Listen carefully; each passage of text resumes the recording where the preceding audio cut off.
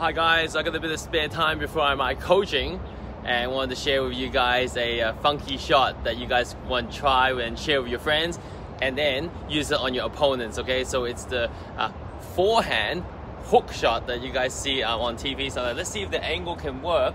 So you can see it down there and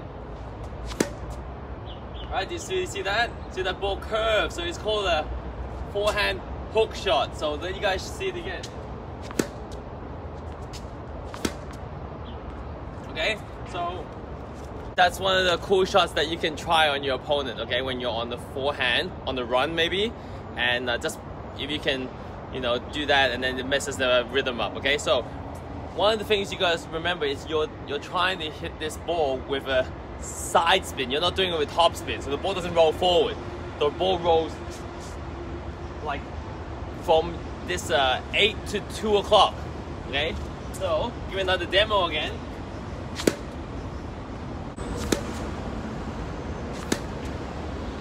Okay? Remember, when you try this one, you cannot do it from a high ball. You gotta do it on a low ball, and the ball has to be low so that you can go inside, outside. There's a bit of wrist in there, okay? But not too much wrist, more like it's a pronation, so it's a rotation of your forearm, okay?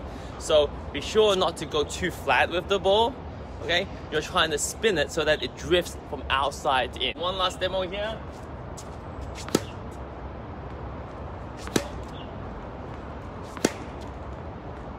Hopefully we caught some good curve for you guys to see. Just a fun sharing for you all.